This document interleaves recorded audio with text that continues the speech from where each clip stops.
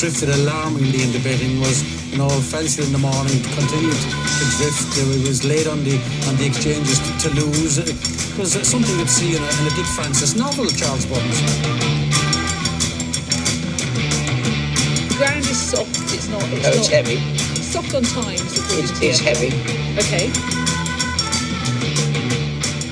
And a massive warm welcome to the Barstow, very warm, uh, Barstewards Enquiry Sunday sermon. And joining me, as always, are my two favourite cohorts. Uh, it's Chris Law Malvo and John Lang. Good, evening, chaps. Evening. Yeah, and we're to discuss the topics of the of the week uh, that I've got lined up for us, and also look at the uh, racing uh, in question over the weekend, including the Hungerford and the Prix Jacques Le Marois that took place today, with Frankie winning the filly in Spiral. So let, let, let's review the racing job, the main action anyway. There's not a lot to discuss this weekend before, of course, our our favourite meeting of the year, our home meeting. It's a home run this week in York. Turf. we just we, we, it's like our mecca it's like our journey to mecca it's the best meeting of the year uh, so don't don't forget to miss our show on tuesday either. And Um, Valhalla, they yes the valhalla yes. Thor uh, what was it thor ragnarok? Yes yes absolutely. Valhalla love great show. Anyway on to the review and yesterday saw uh, the main action really at newbury with the hungerford and geoffrey freer. Uh, so john if um, uh, we'll look at the uh, Hungerford first. of No, in fact, let's let's look at the Geoffrey Freer and then finish with the Hungerford. The Geoffrey Freer, uh, Zechariah. Now, this was an absolute disgrace, John. John, you, you you've plenty to say about Holly Doyle, lots to say, and what a disgrace that Wifey was basically taking a lead so that so that husband day could win the race nice and easy. It was very surprising tactics on Outbox, shall we say. Hmm. I, I wouldn't say surprising. I'd say that I'd say uh, uh, as as, as Holly rung up a, her, her commission agent and says, "Can you get me a few quid on Tom?" Um, I, I mean, I mean, it, it was bizarre. Outbox just bowls along. Given the likely circumstances in the race, Outbox was very easy to back. Yes, nine to two out to, on the exchanges, John. Yeah, big, yeah, big I mean, normally you expect them that look like they're going to get an easy lead to shorten up a wee bit just before the off, don't you? And Yeah, there was no trace of that. And anybody that was thinking of getting a, a get out in running an Outbox would have been shitting themselves when they saw that near the off time. I mean, I, I mean, it's almost as if Tom's promised uh, Holly a trip to Ann Summers. I mean, I mean, the way that she just gave gave that away. He maybe promised her a trip to Valhalla. on the end of it. yeah. I mean, yeah. I mean, I, I thought that was a disgrace, to be honest. Uh, if, if if I was if I owned Outbox, uh, and I, is it is it Hambleton uh, that owned that? Um, yeah. Hambleton Racing. I'd ask what the f- fucking hell was going on there. I mean, I mean, I mean, They aren't bothered though, are they? They have her on that fucking Glen Shale that tanks itself into oblivion every fucking time. I mean, yeah, they couldn't care bloody less. yeah. In in in retrospect, though, it was it was a it was a fair time. So you know the the. I, I can't knock the, the winner. The winner's definitely probably run run to a level. It's certainly not looking like a Leger horse, though, is it, John? But I give it 105. Just to, There's no change from you, is there? It, it literally, it literally isn't. um, Yeah, no, nothing. Absolutely. John's John's very mean on the rating. So yeah, but I don't think either of us think uh, Zechariah uh, is uh, is Leger Leger material. So moving on then to the Hungerford, and um, Nick Palfrey sets us off by saying. How do I get past Jumby winning the Hungerford? Is there a 10 step plan I could sign up for? Absolutely agree. Um, didn't see that coming, did you? no, and I'm, I'm a bit of a fan of Jumby as well. Yeah, absolutely. But yeah, I, I couldn't make a case for him yesterday, really. Um, I, I wasn't surprised to see Dubai Poet run well, I must admit. yeah, But other than that, I mean, Primo Baccio did have Lazarus, came back from the dead. Well, I'm not sure it did really. I think that holds the form down. Well, possibly. Um, Pogo looked shit beforehand. ran pretty shit, but still battled back to get back in front of Tiber Flow. I don't think get seven in the best company. I, was- I was very dis. I mean, that was our Claxon bet, and I was I was very disappointed with that. Um, did Thingy sort it? I'd, it wouldn't have won at six. It wouldn't have won any trip. Uh, I, I, I was just disappointed with it. Um, it, you know, basically. And Chi- Chi- yeah, uh, yeah, yeah. I mean, Ant- Anthony Britton really, uh, you know, it, it, basically it's the Anthony Britton school there for Richard Hannon. it. Yeah, Send Yeah, it to but- Bartel, get it smashing up them gallops four times a week as well. earn your corn. Yeah, and Wings of War in third as well holds the form down. Um, you know, that's just is what it is. You know, two lengths behind Go Bears Go. You know, it's that looked a Group Three horse prior prior to the race. You know, tops. So, so I I I, I, I struggle to rate Jumby. I mean, I think just got to find it under shit Hungerford to be honest. just a weird Hungerford. Yeah, I mean, like I said, Chindit's not running its race. Tiber Flow's not run anywhere near like it has. Running two tram lines early on, I know it probably didn't make a lot of difference. They weren't that far apart, but the three went far side, weren't there? And Yeah. And we had a manky little gap, and ah, it's just a piss pot of a race, really, wasn't it? But I'm like you. I've always liked Jumby, but not. I never saw it in that sort of grade. Um, really, a, Group Two horse. But but fair play. Well done to Connections on that. Uh, in winning the Hungerford. Okay, so we move on to Sunday because there wasn't a lot happening on Saturday apart from the bar stewards in decent form. Neville with his wank bets, you know, and that te- taught him a lesson, John. That taught him a valuable lesson, didn't it? Going each way on an 11 to 1 chance at Perth uh, that wins, and you end up with only half your stake. Well, I just hope it, I just hope it taught him to get a fucking battery in that smoke alarm. The amount of Listen, complaints we've had over that. List, listeners, if you want Neville's address, I'll get it, and you can all send him en masse some smoke alarm batteries. How's that? You know, Neville's one of them. He, you know, he's he's he, he- he's quite shrewd with his with his old caches. Nev, you know, he's one he's one of them. You know, like I said, he he he, you know he, he ties elastic bands around his shoes when you know when he'll be, heel becomes loose, things like that. He's not daft, he's Nev. So I just wonder if that's in his thinking. anyway, that's that's something going forward. We'll move on to Sunday, and it's it, it, it, it was a very good race, really, on paper. The uh, Jacques Jacques Le Marois, a very fascinating race. It was a Um, race on grass. Yeah. Not on pipe. Yeah, right Yeah. on grass. Yeah. Do it So, again. Inspiral, managed to come back to form. Not unsurprisingly, as as we said uh, on Friday's show, and doing the business under Luigi. Interesting. Before we talk about that, interesting piece from uh, was it Muscat uh, in the Post saying Frankie should. Astonishing pace from Muscat, I thought. Yeah. I, I, I- don't. Where, where's he coming from with that? I, I, don't, I don't. I don't see his. I don't see his angle about Dettori should should hang up his uh, hang up his boots.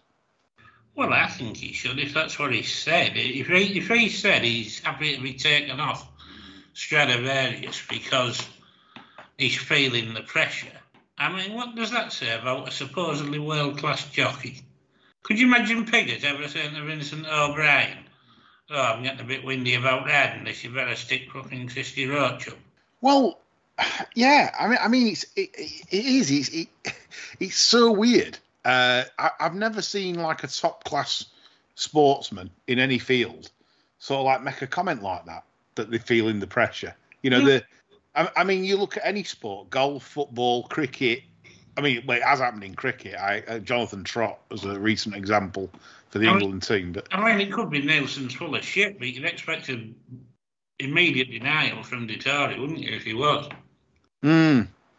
Yeah, it's all it's all very bizarre this Dettori affair uh, that's that's gone on this summer. But he, he, he made he certainly made no no mistake today. It was a good ride. Uh, I thought on the winner Yes. got got absolutely hundred percent out of those. That that was Inspiral's. I mean, is that Inspiral's best or was Inspiral below form? I'm going to be devil's advocate here. I thought she was better at Ascot. Yeah. I thought that bit of squelch in the ground probably didn't help her as much as it might might have done. Um, it did help late in the entry, I'm sure. Um, I thought she ran to about 116 today. Fair comment. I find it difficult to rate. The time's good. The time's really good. Um, there's nothing to knock. There's nothing flashy in the sectionals. I've looked on France Galop for the for the, you know for the individual. Like, there's nothing flashy from anything in terms of well that that was unlucky or that you know. No. I think it's solid form. Um, I I think whatever you rate that, I think it, yeah, or you know, Order of Australian fourth. Coroebus, Coroebus though. Let's discuss Coroebus. Um, it's confirming it's a shit guinea, isn't it?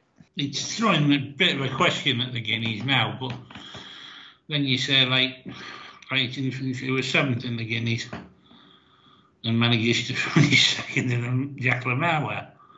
Mm. So you know, that, that's like the other side of the coin, isn't it? You know, I mean, it was such a good Guineas the seventh managed to chase home inspired today.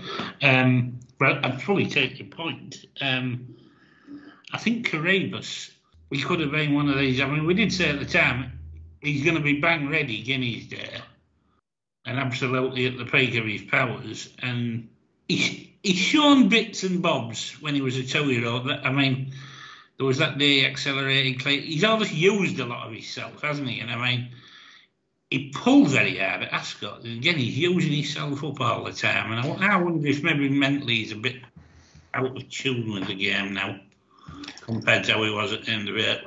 You might you might be spot on there. The, the reason why I say that is because Coroebus, they're having to over exaggerate the dropout, aren't they? They come out the stalls and literally the the rider does not. If you watch the rider, they, they do nothing. Oh, yeah, they literally walk out. They have to walk out as if to say that if if we do anything more, as in.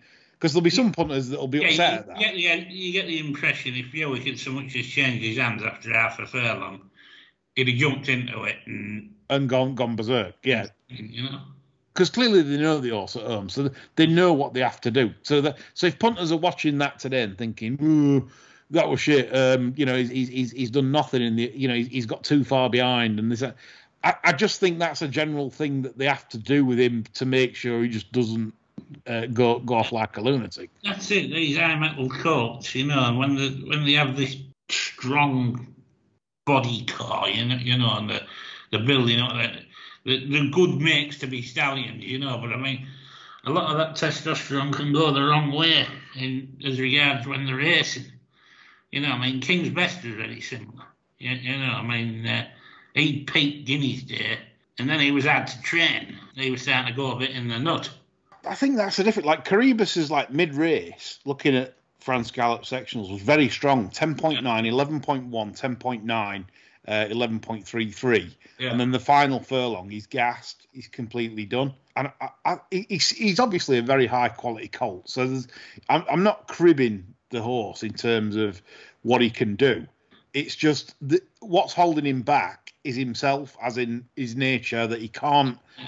You know, I, don't, I don't think we'll do it, Labour. If uh, if I was driving the bus here, what I would do, I'd switch him right off. I'd hardly do any work with him. I'd just noddle him about a bit, and I'd have a tilt at the Vernons. Yeah, that's a really good shout. Uh, it's not a good shout because uh, Rohan uh, was anti-personal advice from Bastard, so it's terrible advice from John there. If Charlie Appleby's listening, don't listen to John. He's an idiot. but yeah, um, apart from that, um, six furlongs. He's he's quite intriguing given. Well, he's given, quick, isn't? He's quick because 10.9, 11.1, 10.95 you know, he's he's got that more pizzazz. He, he's more pizzazz than Inspiral. He's more. He, he's he's got he's got a turn of pace. I mean, the, you could ride him better over six. I mean, you just drop your hands on the withers and lean forward and just let him roll. Yeah. You know, um, I don't think we'll do it.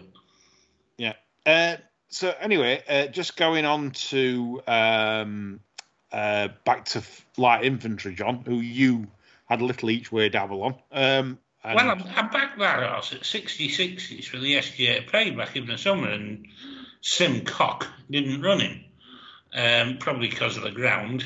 Um, I thought everything was right for a, a, decent performance. And he ran well in France the other day, didn't he, when he came from right back. And then uh, the improv tactics had no end to today. I mean, he was he shot halfway rather than tailed off. Well, Well, good. Um, faster than light's been on. He says, "How much improvement has Simcock got out of that horse today?" No, Uh, that in was your opinion? good. Yeah, yeah. Always, like you said, John. Always a good horse. Um, It was ridden wrong. yeah, and and I think that's typical with Simcock. I mean, we said on this show for a long time that we regard Simcock as the best trainer in the land. You know, like like he's he's not the best trainer in the land, but we regard he's like one of them up, like Timeform peas that, that you, you the, with a with large capital P. Eighteen percent with everything sat out the back. Yeah, Jer- Jeremy Gask had to go back to Australia on two percent with everything sat out the back, Yeah. which proves that Simcock knows what he's doing. Um, he's just an apart from the idiot. tactics. But yeah, he just one dimensional. It's like saying, right, we we're going to drop this out. Everything is dropped out.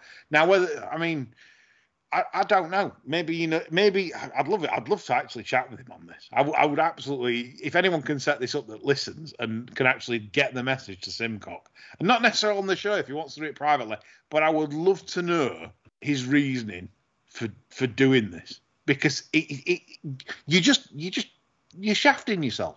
I mean, we've even said we, the stats say it: at Yarmouth, Ascot, Doncaster, big long straights. What was this today? Big Deauville straight course. You know, Simcock's not going to do well on tight turning tracks held up. I mean, or, or this is what annoys me. I, I, it annoys the hell out of everyone that's trying to back his horses as well because you, you, you look for a well handicapped Simcock horse and it turns up at Wolverhampton, you know, over a mile, one and a half furlongs. And it's and, it, and, it, and it's tracking hundred to one pokes. you know, while while second Fab's sort of sat second, and you're thinking, well, You think you think you'd squirrel for supper again, aren't you? yeah, yeah, and then it's fast finishing, and then it comes, it, it you know, really roars home into second, and you Big think, eye, big eye catcher, racing Yeah. all over it next. exactly, exactly. I you, mean, want, you want your money back? You're taking five to six at fucking Yarmouth. Yeah, he's, well, that's it. You know, then he then he turns up at Yarmouth for one mile three, one mile three and a half or whatever it is. you, you know, and they, like you say, and it and it's it's fifteen to eight to eleven to ten in the morning, and then it goes off eight to thirteen, and then lags up, and then, it's boring. Everybody's saying what a genius ride from Spencer. You know, Simcock, you're boring. Be less boring. Be interested. anyway, right, we're going to move on from reviews because we've done enough reviews. Twenty minutes into the show, um, so ground HQ. Um, Uh, right, right. I mean, we've talked about it all summer, like we do all the time. Uh, Richmond's mentioned it. You have John Prosser, July course. They may as well dig it up, on there. I mean, I mean that that was that was the absolute disgrace this week. Uh, I mentioned it to Coos Racing Club as well. I said, look at what he's put on. He's been putting on 20 mils, 20 mil, 20 mil, 20, and then and he even even topped up eight mils after the Friday. I, we know there's a heat wave. I get that, but look at the times at Newmarket Friday and Saturday. Just look at them. I don't think any horse has got within two seconds of standard. Not within two. Honestly, some have been five, six, seven seconds slow. It's an absolute disgrace. What is it? Is is the bloke sponsored by Petter? What what what's he doing? in all honesty, it's a pointless exercise betting there or taking heed of the form from there, isn't it? Yeah. You know, that part of the season when the switch from the rolling mile to the shithole, it's Yeah. just pointless. It's a write off. You know, you, you you can't put winners up and say, well, that that's in pro six or seven pound and give it that as a master rating because they'll, they'll go somewhere else and on good to serve and run like absolute shit. Yeah, it's like the Eastern Foss Lass, isn't it? Yeah. it's, it's, just, it's just absolutely appalling. It's small fields, there's no racing line, they're all over the track. It is just a waste of grey matter even trying to fathom it all out and get involved. Indeed. Uh, yeah, I, I, I, I, I just find him. I mean, Andrew Cooper at least had the, the grace to respond to us earlier in the year. He's not got it right since the eclipse, but at least he got it right for the eclipse. Seven point seven. He's not produced seven point seven since. As Andrew Cooper at Sandown, but uh, Prosser, you're a disgrace. You're a disgrace, absolutely disgrace to the game. Um, you know how you can produce ground like that I know you're not getting any. You're not getting any. You can't blame it that you're not getting any runners because you're too firm. Because you're producing ground that's slopped up, and you're still getting four and five runners runner fields. This disgrace of a clerk should be struck down. Uh, that's it. I think the prize money's pretty shit on the Saturday there as well. Well, it's they've they've halved the Greys race. I mean, I mean, look at the right. The Greys race used to be quite, and the, and the Fillies nursery used to be quite valuable. I'm sure the Fillies nursery used to be 40k. I'm sure the Greys race used to be 40k. Um, they've halved that. I, again, I, I, it, this is obviously, you know, like we'll get onto this. Later. as scrap the racing and just call it a piss up place. Yeah, it's it's it, yeah, it's it's it's just not not good. It's not good. His, his Newmarket July. It, it needs needs a it needs a swerve. It needs it's a Timeform squiggle and a bar steward squiggle. So a double squiggle there for the uh, July course at Newmarket. We'll move on. Um, more. Uh, this leads on to our next topics. And John H has been on on YouTube. Real good commenter on YouTube. Thanks, John, for your, all your input on our YouTube channel. Um, it, check us out on YouTube. There's quite a bit, bit of discussion on there. Um, and he says, question here, more of a rant. Is anyone looking out for punters? Or is it just a free for all out there? Friday, we had the Mullins four timer bet um, all over the racing post all day. The Tramore stewards didn't even inquire to any of it. And that brings me on to um, uh, John Hines, who's also been on and said, Is this a witch hunt also against, say, Ronan McNally, who was who was basically persecuted for his gamble, petrol head? Um, you know, he was absolutely, ha- you know, handed fines, you know, all, the, you know, brought to task and and what no even not even in, even inquiry into the uh, into the Ben Irish uh, fair that happened on Friday night where they, they set up four runners um, to um, to do the business. Um, he said this brings us back to the Jimmy Fox gamble at Kempton. Fox basically admitted some lads in Ireland owned it, but says in the paper Mrs. Fox owns it. Uh, Kempton stewards went home instead of asking any questions. Um, you know, it, I mean, this where is the voice for punters, John? In, in any of this, it's it literally is just.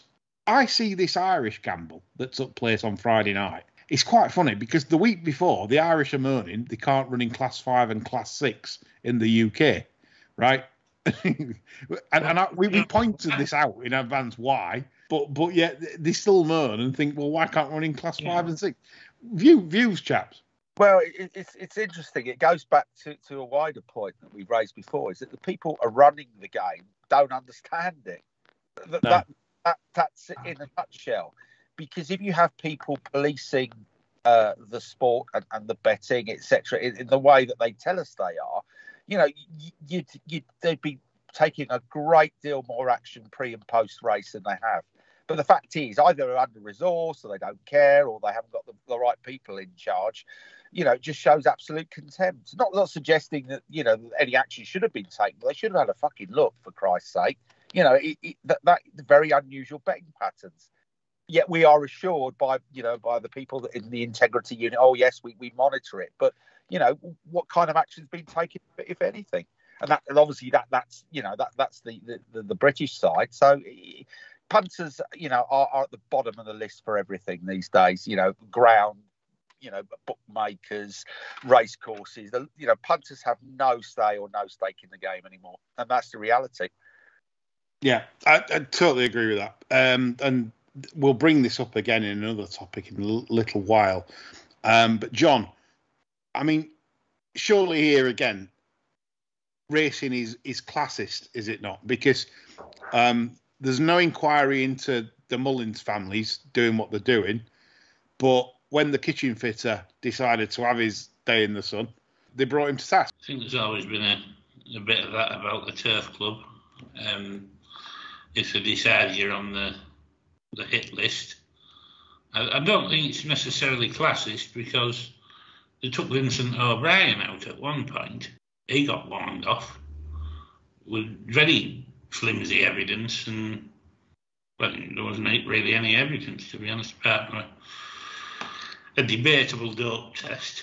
And the same as though they have their, their flavour of the month, how they want to get after and they don't want to get after.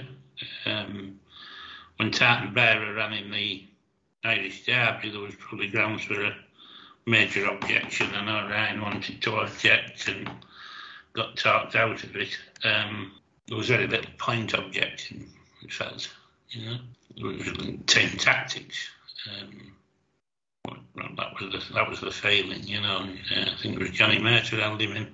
Going back to the lad's point, I was saying, I was looking out for punters. I agree 100% with Chris. Uh, nobody gives a flying shit about punters that's in a position to do anything about it. I mean, we are trying. I can say that. We, we try to highlight misdemeanors, we try to highlight bent rads, and basically we need a bigger platform. Tell your friends, get the numbers up. yeah. right. I mean, that brings us on then to sort of the next talking point where uh, I don't know if either of you saw it, but Martin Cruddace, head of uh, Arena Racing, was uh, in, interviewed by uh, Matt Chappers um, on the the Racing League program, which obviously we we know that we're not fans of, and, and most racing folk aren't fans of. Um, but it may as well have interviewed the winning post. Yeah.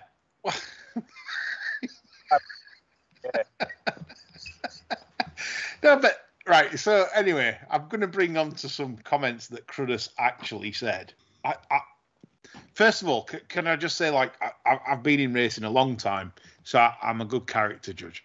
I'd like to think I am. I, I kind of work people out, you know, how nice they are, whatever. Uh, Cruddace, for me, fills the exact exact sort of like model of what I'd expect a CEO to act and behave like. Um, you know, in that he's he's acting for his company, which you'd expect, but he's also very slimy, you know, slippery eel. And um, Chapman asked him and said basically, you know, why why can this not be solved? Why why you know why why are we having too much racing? Why is racing on the downturn?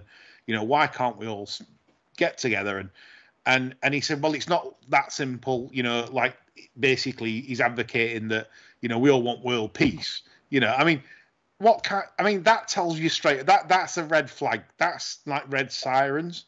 You know, achieving parity in racing and making a good racing product for everyone is not achieving world peace, is it? No, it doesn't. Fucking stupid thing to say. Well, if you've got shares in BAE, you don't want fucking world peace. You want more wars. So that's wrong, isn't it? Yeah, exactly that. Yeah. So I mean, I mean, if, if you got somebody more intelligent than Chapman interview him, you'd have said exactly that. Said more wars uh, produce more volatile markets equals more wealth. Um, you know, no one makes money out of sterile markets. Um, no, no. So there we go. So so so anyway, going on to further his interview. Um, he's saying that this is innovative, um, the racing league, and, and it's in, and we're all about innovation. Again, this is another example of steering away from the product that has made racing in the the in Great Britain what it is, which is the best in the world.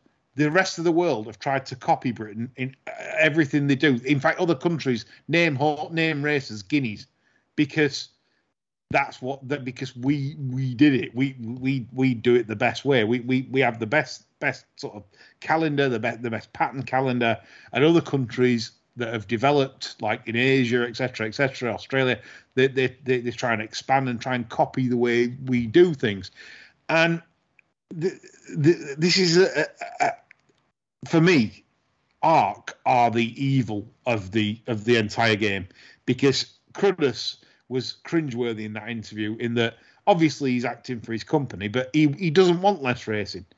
You know, he kept saying, well, we might want less racing, we might want more racing.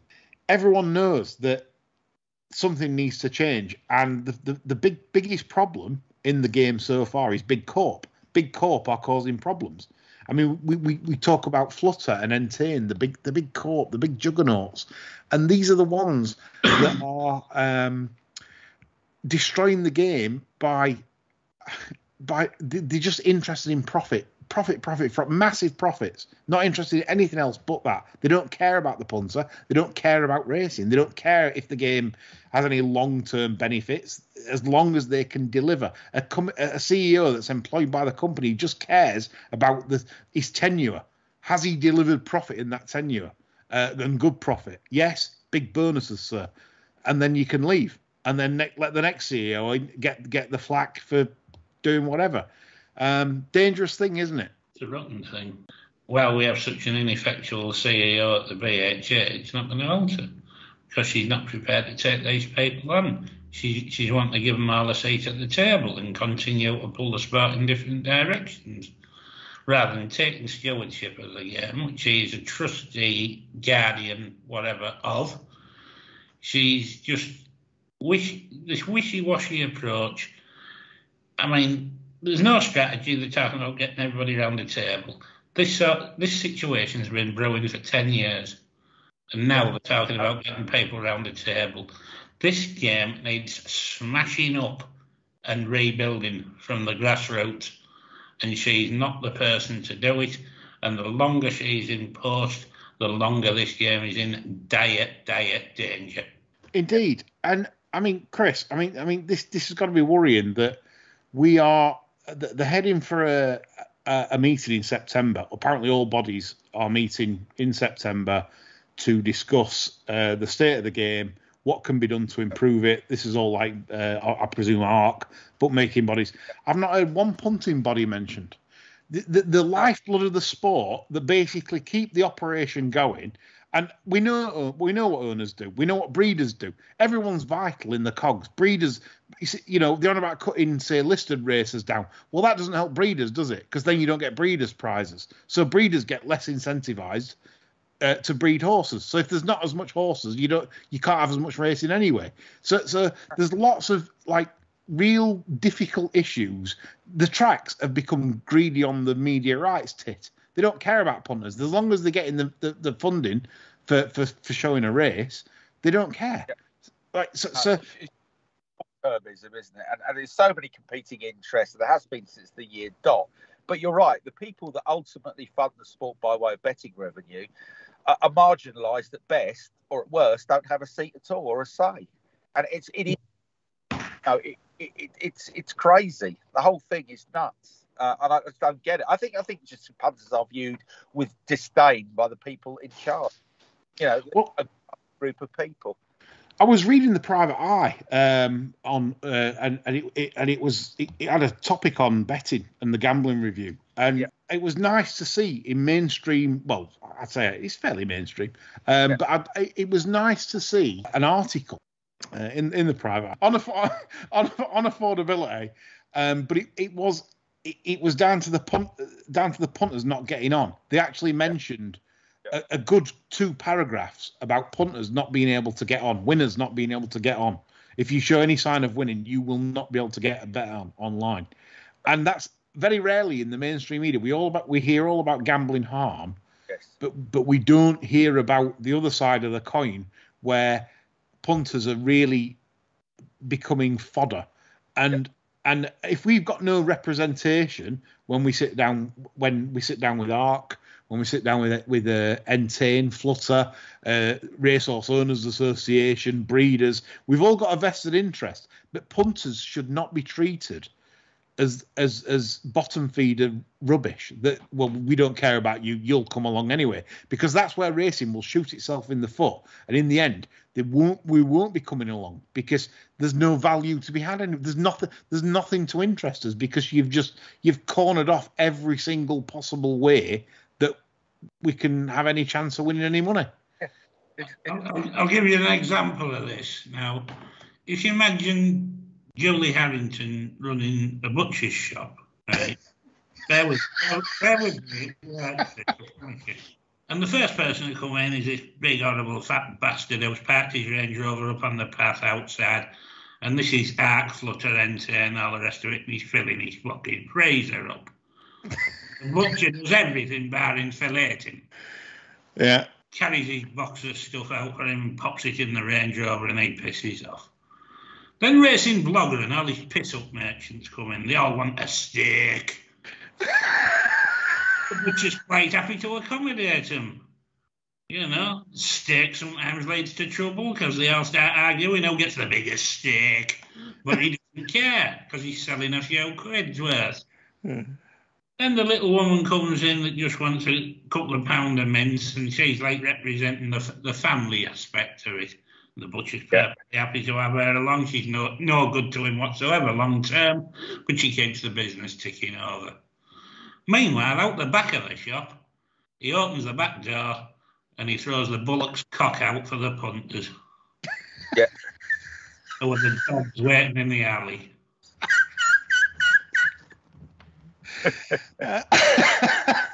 that's one of the best analogies I've heard. Uh, absolutely, that's brilliant. Absolutely amazing analogy. Um, that's one of your best. That's absolutely spot on. That is literally it. You've just absolutely nailed it. And that, that that's. Sorry, Chris. the problem I would say that the, the gambling harm lobby groups are very well organised and very well resourced, and they're very slick and they're very good at getting their message out in the media. There's no equivalent of, from punters, is there? You know, you've got the horse race betters, etc. But but there's no well organised, well oiled, well resourced punting lobby group, and that's the problem. You know, punters as a group are crap at getting the message out there, and that's why they're continually left behind and not included in the conversation. That's I think I think that's it. Like Geoff, Geoff Banks, who, who's not friends of, uh, of, certainly certainly enemies of a few people that follow us and, and listen to the show, but he's got a point here when he says that punters don't do enough. They'll comment on social media. Absolutely right. And Geoff Banks would be someone who would be ideal to get on the horse race betters forum. Would you not believe? He, he would. He would. He absolutely would. Yeah. Uh, for, for, for all his faults, and I don't agree with Geoff on a lot of things. He's. I mean, there's a case with Adam Bunn that I don't agree yeah. with Geoff on this. I think Adam Bunn's totally right on this case, and that's my view. Uh, Geoff calls me naive on that, and, and he, but he would do. Geoff has got a lot of good things to say on this, and Geoff is very eloquent, comes across well in his, his, his video messages. He would be perfect to sit at that table. Um, why, why shouldn't a bookie sit with punters as well? Yeah. Make it joint effort. You know, I mean, Harrington talks about people getting around the table. It's in Bokey's interest for the game to flourish on the betting side. Geoff accepts that. Deep down, a lot of the big firms ought to accept it as well. And the punters ought to welcome proper liaison with a, a bookmaker. Well, indeed. And, and this leads us perfectly into the next topic where bookmakers' revenues uh, online uh, in this country, anyway, obviously, Flutter and Entain have got interests elsewhere, which is helping the share price. Um, uh, uh, certainly on the up, but in, in the UK and Ireland, their revenue has has, has, has, has not gone well at all.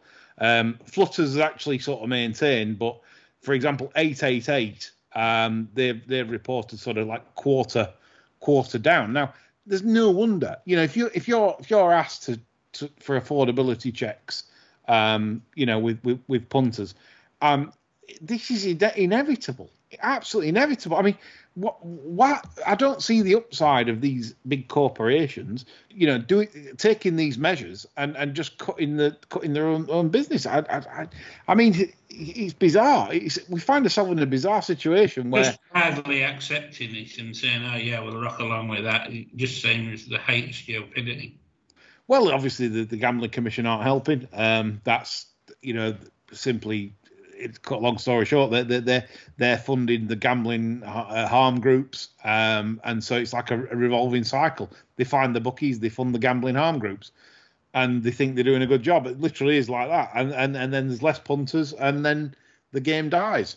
And well, I couldn't believe this morning. I read that the one thing that that useless sack of shit in Downing Street has pledged to sort out before he goes He's a fucking gambling review. Well, is that what he said? Yeah. I, mean, I mean, is he so? Is is that for punters' benefit or? I just hope he gets stung on the cock by a jellyfish while he's in Greece. To be honest. Everyone's not envisaging that, aren't they? Imagine your visions. You sat, to, you're listening to this pod, and it's Boris Johnson with a jellyfish. right. Sat on the end of it. Sting her out. Chris, I mean, literally, why aren't the books more vociferous on this? why is Big Corp not fighting back against these affordability checks? The last thing they want is to lose lose punters, is it not? Well, I think I think uh, I think it's right. It, it is bizarre now whether they think that they can still. Uh, whether they think that there's a sort of a limitless supply of small mug punters, which they will, will replace the people who are smarter and have the potential to win money, you know, uh, that could be the only explanation I can think of as to why they're happy to go along with it. Maybe you think that, that there are enough sort of, you know, once a week mug punters having fivers and tenors on that it doesn't matter that they lose higher staking, potentially in quote shrewder punters because they can replace them with, you know, 10 mugs sitting watching football uh, on a Saturday afternoon. Because, you know, self evidently, if you look at it, just sort of step back, there's no rhyme nor reason to it. But, but, you know, bookmakers aren't foolish. You know, you know, if they if they hadn't got a plan, they would almost certainly have stood up to, to governments and, and kicked back. The fact that they're happy to go along with it suggests that, you know, they're comfortable that they can replace anybody that walks away. And I'm mm through. I, I don't know because I, I can't fathom it. You know, they're happy to go along and to acquiesce to these ridiculous, you know, requirements and you know, gambling harm and all that rubbish. I, I just don't get it. Yeah, and, and, that that word, you know, we talk about gambling harm.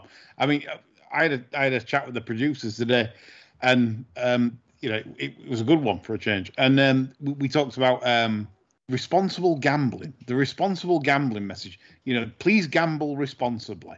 Now, in that like saying to someone walking into a boozer, please, please drink responsibly. I mean, it's it's just not going to happen. I mean, what? It's just an idiot statement, is it not? Because the ninety nine percent or not, I, I don't know. I, maybe that's a, a, wrong figure. Let's say ninety percent. The ninety percent that don't have any sort of problem, right, in terms of like how they stake, what they do, what they bet. Why do you need to be told please gamble responsibly on every message. Why? Because you, you, don't need to be told. And and what? How is that going to stop uh, a gambler with harm that basically has an addiction, a bit like cocaine or or heroin or alcohol? How would that stop any of the? It, Would it tell you that it's more likely to needle them? Yeah, but even but John, like I don't even think it's a needle factor. If you've got an addiction, you've got an addiction. It doesn't it doesn't matter. It's nothing's gonna stop you. Nothing. Nothing's gonna stop us mm-hmm. now. Mm-hmm. You know, it's, it's, it's, some people will abuse it. Some people, you know, most people will, will bet or take drugs or drink responsibly. You know that that, that that's it. You're always going to get a percentage of people, whatever your sort of chosen poison, will abuse it. That's life. It you is.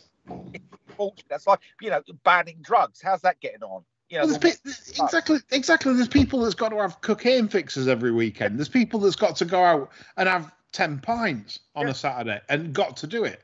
You know, yeah. because it, it, it makes the life bearable, right? That's why they do it. Like, and and so there's people that got to go out there and and stick and have a five pound lucky fifteen, hope it cops, and then and then then they can yeah, I don't know, uh, you know, order coke and alcohol. and hookers. Um, I, I mean, not get the hookers, God. I'm going to say that's what I'm saying, but they can't afford that on what the that that's that's the thing about gambling. I mean, gambling's always been the the sort of like. I mean, I can remember an old boss of mine working as a uh, for a bookmaker where he set up uh, betting officers on council estates for that reason because that's where that's where the action was. You wasn't going to get much action, you know, in, in in rich areas because everyone saw betting like they still do as as like the uh, the devil reincarnated. You don't go in those establishments. Um, so it was on council estates where people went in, had a bet, and hope to win a few quid to make their miserable life a little bit better. Is that right? And hookers. Yeah, exactly. That you can't do on a, on a, on a, on a working wage. So so it, it's it, this this well, gambling review, which is going to knock the sex trade for a shit as well, isn't it? I'm going to say every, it's a knock-on effect because if, if people can't if people can't enjoy the game and, and get on and and and, and just just just bet I mean, it, it, there's no rhyme or reason for all this nonsense, but except except we do accept there are people that do suffer from this, and it, it needs to be. We need we need solutions. Yes, we need solutions. The current solutions aren't going to help because you just you, you. It's a bit like saying, right, hang on a minute. Uh, there's a lot of plastic mass in the ocean. Um, so what we're going to do is we're gonna we're gonna like we're, we're gonna detonate uh, the ocean underneath that'll like burn these plastic mass, but it'll take out like three quarters of the fish. Sure. So you get rid of the plastic, but you also get rid of three quarters of the fish. You know, it's it, it doesn't make any sense.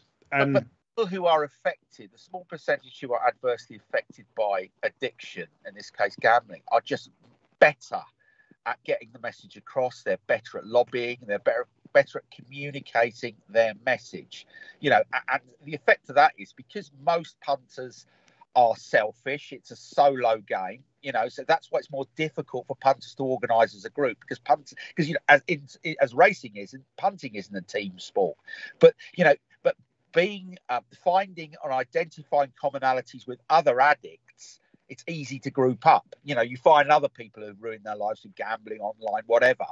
And it's more natural for them to group together as a victim group. Punters, you know, don't see themselves as victims. It's a solo enterprise, and it's just you know intrinsically more difficult to get together and, and, and you know replicate that lobbying model that the gambling harm people have, have you know achieved that's the problem and you know and all you hear is the message in the media of gambling bad because this chap, you know, ruined his life or his marriage broke or whatever. Uh, but what you don't hear is the 98% or whatever of punters that do so responsibly uh, as a bit of fun. And that's the problem. And, uh, you know, um, and a lot of people in society, unfortunately, as we've seen with COVID and, and all those other things, uh, there are loads of people in this society who are happy to be told what to do. You know, what, and, and, and that mitigates or militates against their ability to stand up and push back against government people, you know, loads of people like being told what to do. They like being furloughed. They like being told to wear fucking masks, stay at home, do nothing. And that's the problem. And I think it's going to be really difficult to break that mindset to get people, you know, on their feet and protesting against this. Yeah, no, agreed. Positive mention, Kublers, John. yeah. go or not? Kubler, no, no, well, no, no. Friend of the show can't train a winner. Um, I, I, think since Stuart's been on, we've stiffened him. Um, yeah. I think that's, that's our look. We talk about look, Chris. Oh. Uh, since oh. Stuart's been on the show, he's a uh, naught from 714 um, since since being on, and it's, it's like he's danced with the devil, and yeah. um, he's paying the price. Poor Stuart Williams. Pray for Stuart Williams. Come on, Stuart Williams. We need some Williams from Stuart Williams. Um, absolutely. As long as it's not in the A, Yeah, as long as yeah, you know when he's going to come. Stuart Williams. Stuart Williams will train a winner when you've had your bollocks, or absolute bollocks on one, and he and he comes flying down the outside at 33s from one that hasn't shown any form all year because he's been he's been out of form this summer. You know you know it, and I know it. I'll, I'll be grit, I'll be gritting my teeth that hard, congratulating him. They'll be flying in all directions. it's going to happen. It's going to happen. I, know it is. Um, that, that's that's a premonition. Anyway, Kublers. Um, they're quite some interesting stats here. Um, th- th- there was one I read about uh, top 20 British tra- uh, British based trainers, John, um, and how it's changed. Uh, in 2001, there was 9,537 in- individual horses that ran. In 2021, it was 9,984, an increase of 4.7%. The top 20 British trainers ran 2,152 horses in 2001, but 3,175 horses in 2021, an increase of 47.5%. The Kublers are saying that it's becoming a super sport. We're going to end up with like super, you know, we, have got Coolmore, we've got um, uh, Godolphin. We're going to end up like Harry Dunlop's gone, Joe Tuite's gone, more are going to go by the wayside, all these crap trainers and we're going to end up with like super camps. Is that going to happen? Well, it wouldn't be a bad thing if it did. The, the game needs rationalising, doesn't it? Let's let's be yeah. fair. Yeah. You know, the the shit race courses that shouldn't be doing business, the shit horses that shouldn't be running, um, and by that rationale, the shit trainers that shouldn't be eking out a living. And yeah. that's how the game will rationalise because there isn't the owners there at the mid to lower bottom levels to supply these people with, with enough horses to, to make a living. But that that is just going to be fact because of the economic climate, and richer people are going to uh, go gravitate towards these bigger yards. It, it makes common sense, you know. I mean, if you can afford to have one with Charlie Appleby, why would you seek out Kubler, for example? Yeah. You know, I mean, tell tell me why why I should go to Kubler. It's true. I, I, I, mean, it's one of them. If if you, I'll, I'll just give an example. If, if let's think of, think of a pool of money. Let's say we got ten million quid in bank, right? And yeah. there's ten million quid sat there, and it's all it's all for horse buying and. I'm and spending twenty grand and sending one to Brian Ellison and trousering the rest. No, I'm yeah. sending I'm sending one to Geoff Harker because because the thing is with Geoff Harker, right? If you send one to Geoff Harker, I'll guarantee you it's fucking flying up the gallops, and he'll keep your pecker up even. He will, right? Yeah, yeah. Yeah. Well, yeah, he's a good lad. Yeah. Yeah, I, would say one to Geoff Harker. I mean, Wentworth Falls. He's had he Wentworth Falls or Geoff Harker's. He's he's had that since uh, he bought it from Godolphin, and what a servant it's been. And I mean, I admire Geoff because with what he's got to work with, and he get he gets them to win every year, like his little puller horses, you know, and they'll always pop up. And yeah, that that's who I'd support. I'd, I'd, I'd definitely go something like Geoff Harker just for laugh. But but I know what you're saying, John. In that, like you said, if you've got some, if you buy some serious race all, flesh, all these mid-race, mid-range trainers that are yeah. bleating about this now, if you mention to them voting Labour, yeah. the poo poo it because it's yeah. a pure socialism, the politics of envy. Yeah. Yeah. Then what would they be all over with this? You know? Well, it's, it's the same thing. Yeah, yeah exactly. Yeah. Socialism. This, this is damn near communism on steroids. Yeah. What they're advocating. You know, why Charlie Appleby's supremely successful. He's done an incredible job at Godolphin. Why penalise him for being successful and yeah. say we don't only have 80 horses now, Charlie Appleby. Yeah. We're, going to send, send, send the rest of the horses to these mediocre fuckers. Uh, same for the like shirt. Owners who can't get into Charlie Appleby's. Yeah, the shirt. Rafe Ralph. Heroin choice. You, you're damaging what ought to be a free market. Yeah, completely. Absolute bollocks. Yeah. Yeah. No, no, no. I, I get it. I, like you say, it's one of them. It's, it's my, he, he, to be honest, it's like my game. Uh, look, I, I, I confess, um, I'm probably one of the the little fish that do this for a living, and and I admit, my, my, my year this year hasn't gone that well, and and and this is the thing that that you you have to you have to face up to time sometimes that, that you know like the glory days aren't always going to be there when when you, you, when you're at the head of the game. There are there are better people than me that bet for a living. There are there are better people that um, that train. It's the same thing. You you have to sort of know your limitations and what you can do and what you can achieve, and and and and that's more or less it. Like you said, John. You know, for them moaning and then saying, well, you know, uh, you know, well, you know, I mean, there's a massive pool of trainers at the level of the person in question, Kublers, right? Yeah. So if Charlie Appleby gets, I don't know, say 100 horses taken off him with these you know, draconian measures that they're proposing, if they all get dispersed elsewhere and Kublers didn't cop for one, what happens then? Does he do yeah. the work again and say, well, that hasn't been done right? It's a ridiculous premise, you, you know. They're a good outfit anyway. They're, they're on the up, I think, as trainers. I, to be honest, like, and obviously we've we've had a few sparring sessions and and I've been critical, but yeah, I, I mean, I don't I don't think they're doing a bad job what they got. You know, I've got to be honest. You know. And I can't see their graph going downwards in any great level over the next two three years. No, no, no. I think they're going to be all right. Yeah, I, I, that's it. They're not thick. I, mean, I mean that's the thing. You know, you get trainers that are completely thick, and you know, could be ex jockeys, could be whatever. But you know, mm. some trainers just are just dumb. Yeah. I don't think the Kublers are. I think they're quite intelligent. But that don't mean to say you're good trainers. But, but like you said, John, I think they're on the up. Yeah. Um, so I'm I'm giving them credit. Yeah, you are. Um, yeah.